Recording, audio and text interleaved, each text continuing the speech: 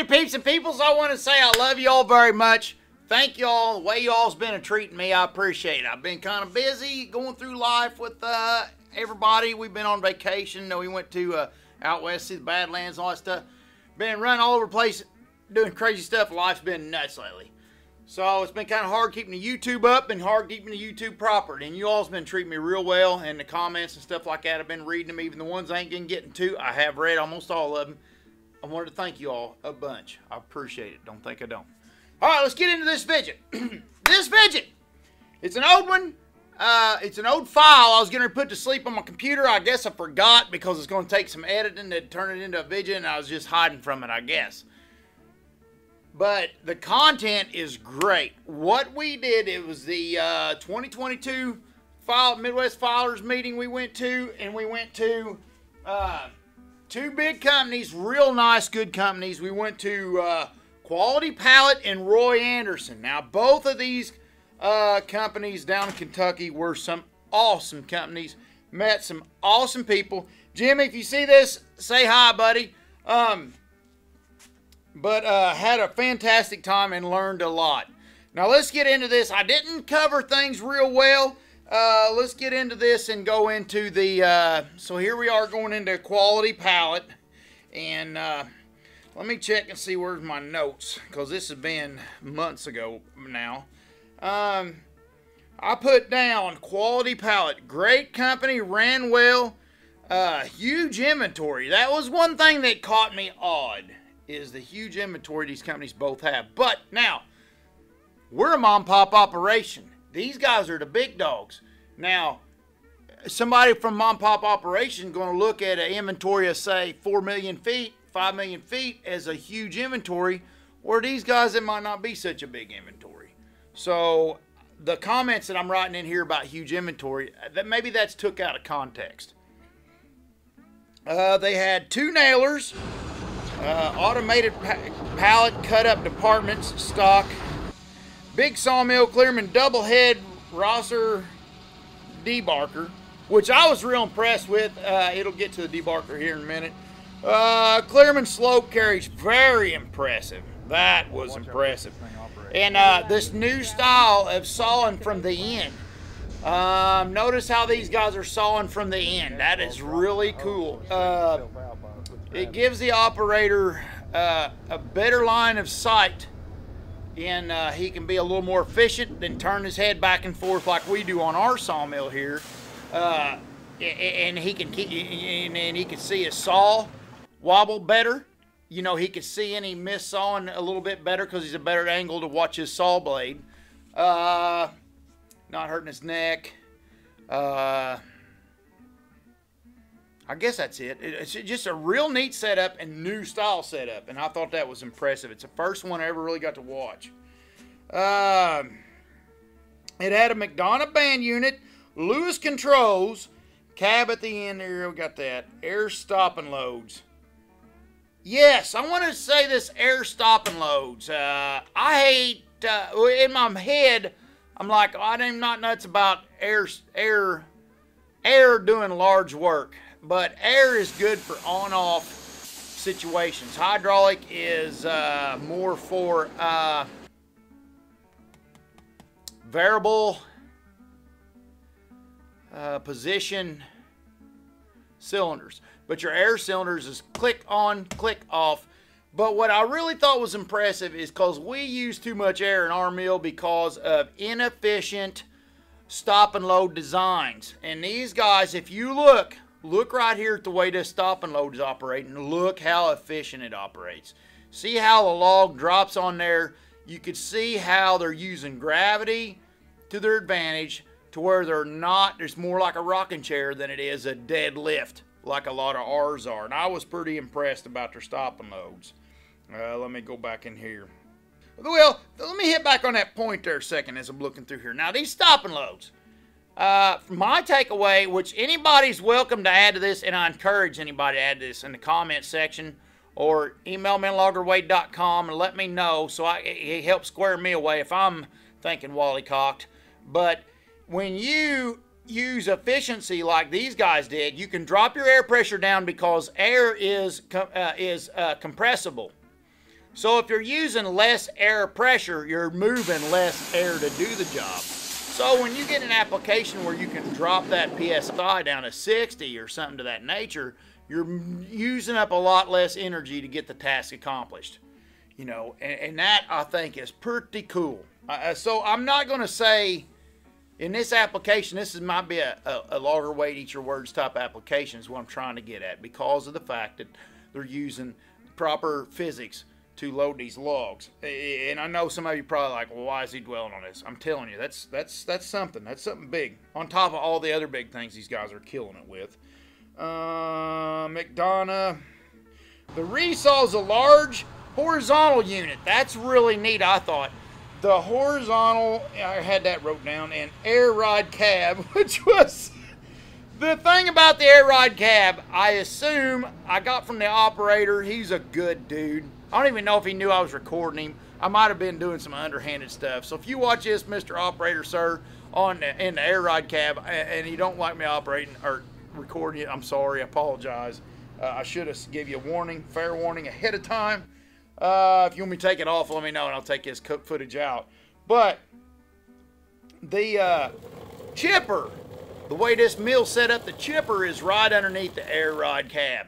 So I assume the vibration, noise, banging clanging, and all the stuff from the chipper through the cushion of air is alleviated so the operator ain't going through Hades through vibration through the frame and stuff like that up above the chipper feeding his uh, resaw. And I assume that's part of it, but I'm not sure. That's an assumption.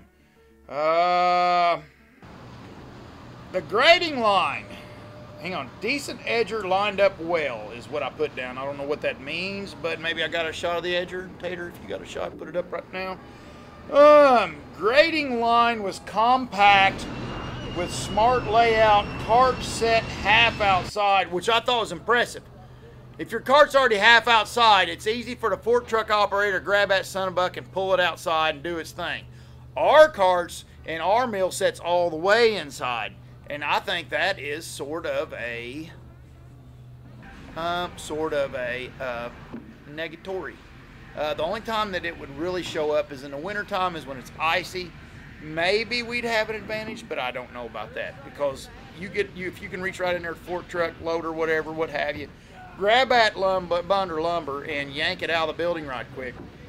Uh, and, and through through through through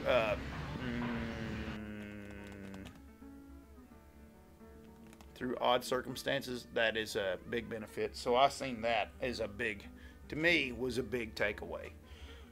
Uh, takeaways from the company. Well, the takeaways I got, they're a little harder on wood than we are, which they should be because they are banging the wood through. Uh, huge inventory was a takeaway I had. Great workforce. I guess I fell in love with the people there, uh, and I normally do. Sawmill people anybody out there from any walks of life, anywhere in the globe that sees this, your sawmill people is going to be good people. I love sawmill people. I love loggers. Uh, but some loggers you do have to kind of watch in uh, the the hiding in the alleys and that type of stuff. but for the most part, loggers are good people too. But all your sawmill people are good people. I've always I've never met a bad one yet that I didn't like. Uh, some great workforce. I got that wrote down. And I also wrote down overbuilt designs. To me, that was impressive. What that says to me. Some of these overbuilt simple designs that these guys have in this mill at Quality Pallet here is uh, because the man or woman, lass or whoever, I assume man because it's things, but uh, whoever's doing the design I, I, I have the uh, impression that they understand quite well what physics do to your fabricated pieces and your moving parts. And to me, if you got a simple application that's doing simple things and you pull out of the boneyard simple parts or from an auction and you can throw that stuff to get concoct that stuff together into something that does a very good job with some dur- extra durability where you're not driving down the road with it like a semi. You so you can throw some weight in there. It's just gonna hold your building down. If a tornado comes, ain't gonna hurt the damn thing. You know what I mean? The only thing you gotta watch is your rolling mass. You know, sometimes that burns up extra energy, but also it can dissipate energy from these cants and boards banging and stuff. So there is goods from heavier rolls or lighter, you know, heavy. It's just a, it's a per application type of mentality is the way I look at it. But anyways, I put that was pretty impressive. I, I wrote it down, I guess, because I thought that was pretty impressive. And also I wrote down productive. This meal, as far as I was concerned, is very productive. So that sums up quality pallet. And after quality pout, we all went out to eat. I don't think I covered anything. If I did, Tater posted up now, but I doubt I covered anything of the eating. We all had a great time. I love our people and I like being close to them. Uh, so anyway, that sums up that. After lunch, we went to Roy Anderson's. Uh, I got down that he was a great company. It, it blew me away. I'll tell you, this Roy Anderson really blew me away. They're focused on grade and they don't play around. Um, uh, they got a ring debarker with a backup Fulghum Rosser head. Uh, I don't even know if I got the Fulghum Rosser head in there. If I do, show it now, Tater. But uh, huge metal detector, two mills, big slope Corley, large gun, great cant pan. So their cant pan design, I don't know if I have that down anywhere. We have a real problem with our cant pan design back at our operation. We're not utilizing gravity any on our cant pan, and that is a mistake. It's a mistake. Now look at these guys the way they're cant pans. So you're using your cants always slide to the bottom. And when they slide to the bottom, they'll sit down there on that bottom and you can use your cants that you got on the pan for counterweight. It's like an elevator with a preset counterweight on it. Uh, like they use in these mines and stuff or like at a normal elevator. You're using your counterweight to operate the machine more efficiently, more efficiently and use up less energy to raise your cants up. And uh, we got a mistake there. It's burning energy. I don't know what it burns annually, but it we do pay for it quite well at our company. And I was pretty impressed at uh, Anderson's cant pan, fellers. I, uh, anybody from Anderson watch this? I was pretty daggone impressed, fellers. Um, ring debarker, large gun, great cant pan. Salem Resaw ran by my buddy Jimmy. Jimmy, say hi to everybody. Or get a hold of me somehow, somehow say publicly, say hi to everybody. Everybody, this is Jimmy. He's awesome dude. I love the crap out of him. And he's a sharp cookie, been sawmilling. Let's listen to Jimmy for a little bit. No, sure don't. This guy's kind of camera shy in here. Hey, that's good. I told him a while ago, he said, I see you on YouTube. And I said, I bet you see you on YouTube too. I'll make sure Tater gets you on there. what an amazing outfit. This whole operation. Now, do you got any history of the operation you can share without distracting you? When I started out, we had circle saws. Okay. Go, you know, years ago, 96, we transported uh, the band mills it wasn't resawed. In 2010, we went to this two resawed. It's very bone. 2010's how long this has been. Yeah. Now you saw it on the old one beforehand. Yeah. Now when did the old one go in? Not, about fall 96. Got you. They put the head rig and the and the resaw in over there at the same time. Got you. So that was a, that was, and you just. Then 2000 they put this head rig in. Then 2010 we put this in there. Got you. But this this head rig would saw on down, or would it Yeah, send to the other the- one? No, it saw the. Till, till, till this one yeah, went that lumber went down to see the old lumber chute there. Yeah. Yes. Then uh, That's amazing. I don't know exactly when they put that big sorter and all in. I don't remember the And I found it is. out that was JT Shannon's old sorter. Really? Yeah, that's what I'm. The next thing I wrote in was scanning edger. Now there was things about this scanning edger I was very impressed about. Uh, look at the footage. I can't see. Um, there was some kind of sprocket feeding system I was pretty impressed with, but it uh, I didn't remember. Did I write down who the kind? I assume it was maybe Lewis uh, that's controlling this thing. I put down less than perfect because it's real hard to make an optimized edger for hardwood, but not bad.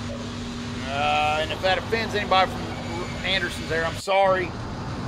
I just there's a couple things I wasn't impressed by, but for the most part, I was impressed. Uh, Is it worth spending your money on? If you're moving their footage, I say yes, definitely. Uh, they got uh, uh, on that resaw system. They got Kingpin running resaw. I'm sure they had on that mill. They had the great head sawyer. I'm sure it's a great head sawyer. I'm sure that's the A team. Uh, sort of not not to start any trouble amongst you guys there at the mill, but I'm sure that's their kind of their experience. They're going to throw the money there, and they're going to get it back. They figure on you know from this edge and stuff like that. So I just put down. I don't know what made me think it was not knock your socks off, but I'm sure it was minor. But I did write that down. I didn't write that it knocked my socks off totally. Uh, now on the small mill, mill B, it's got a flat Corley carriage, scanner, shotgun, small resaw. I think McDonough, I'm not sure. Uh, Jimmy, if you do comment on here, straighten us all out on that if I got that wrong. And a smaller edger that's manually ran. So that mill's ran a lot like a common mom and pop mill. Uh, uh, but it's it's great to have backups. I love this design. Yes, it's a little heavy on equipment costs, but from talking to Jimmy, almost every machine these guys buy, they buy intelligently, thinking about an investment instead of turning cash. So the iron you're looking at sitting in this building, for the most part, from what I was told, was bought proper through downturns or something like that. Was bought proper, installed proper, and now it's being ran proper. So uh, a little extra machinery goes a long way. Even if you ain't got the people that day to put in the machinery, it's sitting there waiting for the people tomorrow when they show up. Uh, now let's move on to the grading room. Now Mill A and Mill B is both feeding this grading room. Now that ring debarker is feeding everything, uh, which is pretty impressive. Which that Fulghum over there in the corner couldn't stand a chance in a million years of feeding everything but they could probably hold its own on one of the mills, A or B. Uh, throw enough logs in maybe to feed mill A, I assume. I don't know. I'm making an assumption here reading this book. Uh, grading room. Long concentration of scrambled lumber. That I was impressed with. I don't know how many feet they can hold uh, scrambled, ready to go uh, for for a concentration, but it ain't playing. Holy cow, that was impressive. And I never did look at the drive. I should have looked at the drive on this deck they got pulling that thing. I bet they got a damn Drivosaurus on the end of that deck pulling that chain. Um, or they've got it split up in multiple chains down through that area, but I doubt it. Uh, they got JT Shannon's old bin stackers. I remember when I first got my CDLs going down to Shannon's down in Louisville and watching that state of the art stacking system down there and just thinking that is amazing. Like dag, daggone NASA put that in there. We'll kind of find out that's where it ended up. Down there at Roy Anderson's. That was really cool to get to see that old girl running again and looking good doing it. Uh, slope shark fin turning station, three graders. The slope station, that was impressive, I thought. Three graders, auto trimmer, uh, 30 plus bay bin station, stacking station.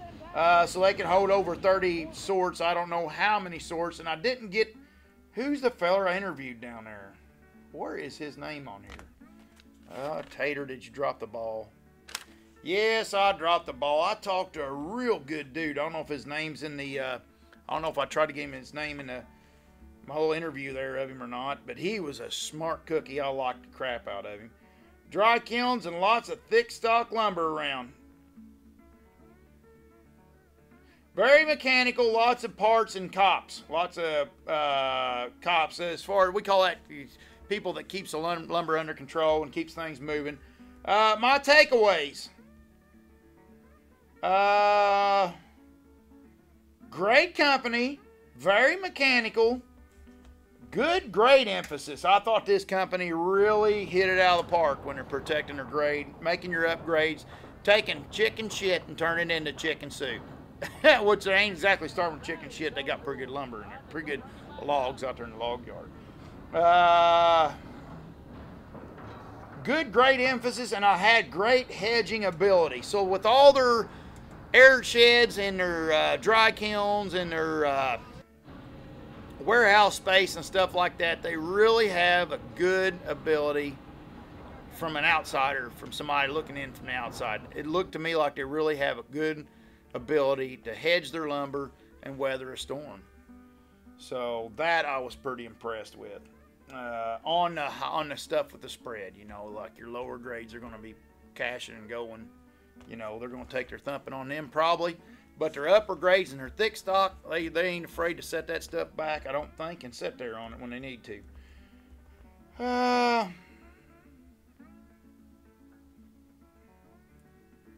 okay, I put this down. I assume their cost per foot in machinery was a little high.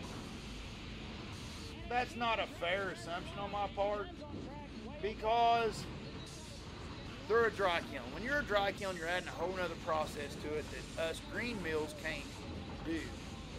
So we gotta operate a little cheaper. I don't know if it's necessarily better, but I'm talking cheap, like thinking cheaper.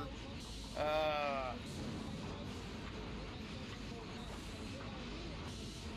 I think that their cost per foot in machinery is a hair high, but that's not necessarily fair because this mill is cranking out a hundred thousand feet a day.